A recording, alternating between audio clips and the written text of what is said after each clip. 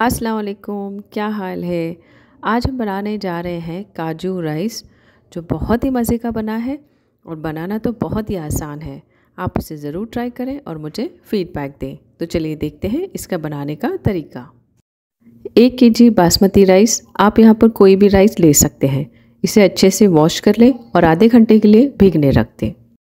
बर्तन को medium heat पर गर्म करें। इसमें वन फोर्थ कप घी डाल दें और चार टेबलस्पून ऑयल आप चाहे तो ऑयल को स्किप कर लें, सिर्फ़ घी में भी बना सकते हैं। जैसे ही हल्का सा घी गर्म हो जाए, इसमें 15 से 20 काजू 15 से 20 बादाम डाल दें और इसका हल्का सा कलर चेंज होने तक इसे फ्राई कर लें। काजू बादाम यहाँ पर हल्के से कलर चेंज कर चुके हैं, अब इसे निकाल कर अलग रख दें। थोड़े से बादाम और काजू इसी में छोड़ दें। अब यहाँ पर हम कुछ मसाले डालेंगे। एक टीस्पून शाही जीरा, पाँच लौंग, पाँच इलायची और एक दालचीनी का टुकड़ा। इसे 30 सेकेंड के लिए अच्छे से रोस्ट कर लें। 30 सेकेंड के बाद इसमें चार टेबलस्पून दही डाल दें और इसे भी दो मिनट के लिए अच्छे से पका लें।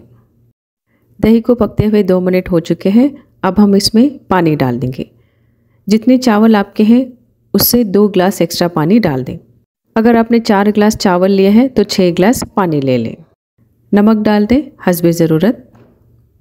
चार हरी मिर्च दो टेबलस्पून बारीक कटा हुआ धनिया और दो टेबलस्पून बारीक कटा हुआ पुदीना।